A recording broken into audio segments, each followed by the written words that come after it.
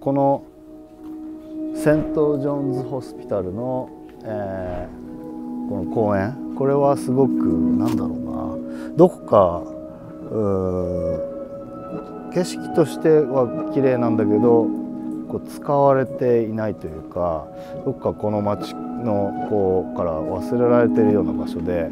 ここをどうやって変えられるかっていうことを、えーまあ、今回のブルージュのトリエンナーレで考えたいなと思いました。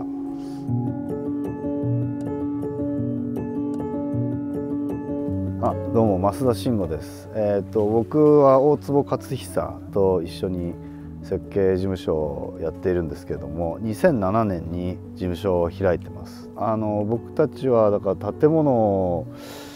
をなんだろうな直接設計するっていうよりも結構ちっちゃい仕事から始まったんでもう少しこう建物の外にあるもの例えばこうフェンスとかこうちょっとした外交とか、まあ、そういうものにをまあ、どうやって建築にしていけるかっていうことを考えてきました。え、っとまず第1回目が、えー、っと来た時の印象はやっぱりあのこれヨーロッパ全体にも共通するかもしれないんですけどやっぱりいろんな場所がに全て名前が付いていて例えばあの道は道だし建物は建物で外区は外区で、えーまあ、結構こう隙間がないというかなんかこう場所の定義がこう全部決まっている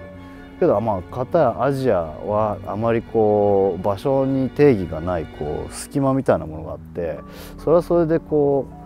う美しくはないんですけどなんかこう自由に感じてなんかその合いの子っていうかそういう場所にこの公園がなったらいいなと思って、まあ、この敷地を選んでます。で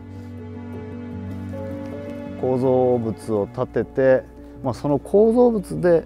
人その構造物に人をが入れるようにしたりあの、まあ、そうやってこう別のこうスペースを作るんじゃなくてもうちょっとこの場所こう全体をもうちょっとこう、えー、ちゃんと働くようにこう変えていきたいなと思いました。なのであのまずレンガはなんかここのブルージュでもよく使われてるレンガを用いる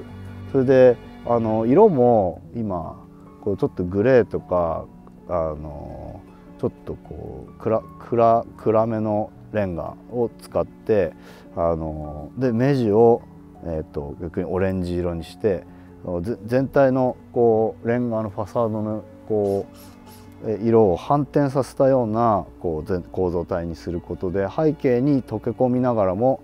えー、全く違うものとして立ち現れるように今いろいろスタディをしてます。